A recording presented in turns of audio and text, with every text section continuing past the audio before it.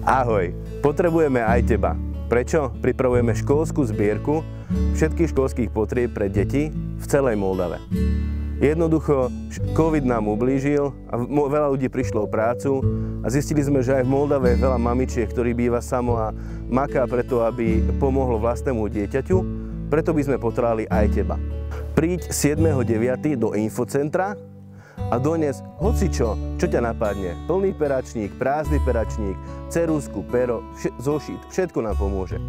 Prídi, úsmej sa a jednoducho daruj človeku nádej hlavne dieťaťu.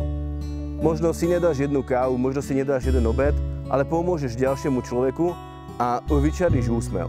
Možno by bolo super vidieť všetky naše osobnosti, prísť s jedným plným peračníkom a usmiať sa a pokecať minútku, dve a pomôcť ostatným.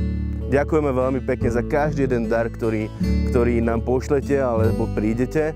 Určite vás rádi privítame, príďte všetci.